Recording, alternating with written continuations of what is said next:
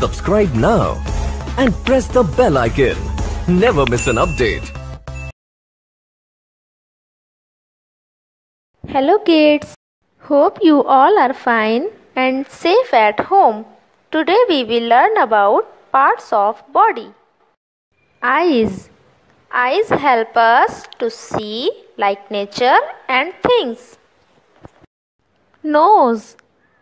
Nose help us to smell like flower fragrance. Ears. Ears help us to hear like lovely music. Teeth. Teeth help us to chew the food. Tongue. Tongue help us to taste like sweet, sour and bitter. Lips. Lips help us to smile. Hands.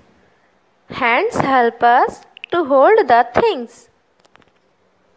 Thank you.